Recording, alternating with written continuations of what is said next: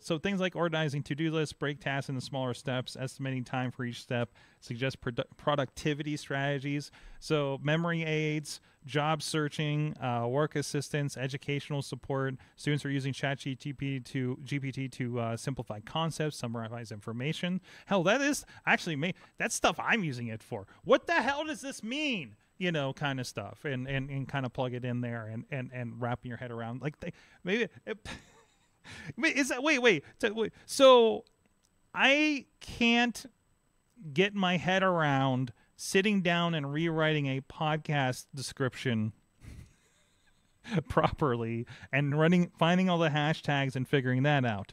Is that an attention problem or do I just do I just suck at writing? I always just thought I sucked at writing. Could go either way. Could be either way. Uh-huh.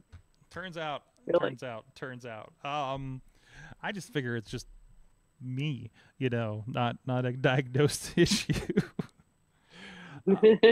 I should it's funny, like when you, you talk about stuff, and it's uh like I, especially as like TikTok of like the content I like and the content that I I definitely identify with it, and like the the ones that are just like what uh, no one else hears a bunch of different like things in their head at one time. Like I need to do this thing, I need to do this thing. Why aren't you doing this thing? And can focus on one task at a time, like.